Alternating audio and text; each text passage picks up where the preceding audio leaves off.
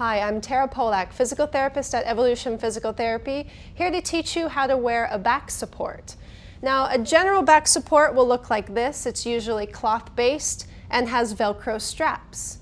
I'm going to demonstrate on Shantae where to put the brace. So Shantae, as you're facing me, I'm going to put the back brace around you. What you want to do is find your iliac crest or the sides of your pelvis. And that's where the brace is going to want to go around. So coming around to your low back, the sides of your pelvis, and then you're going to go ahead and latch the Velcro right in front.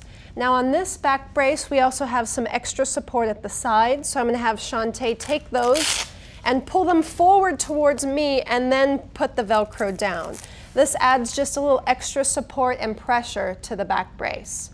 Now, wear your back brace as instructed by your physician or your skilled physical therapist. I'm Tara, and this is how to wear a back support.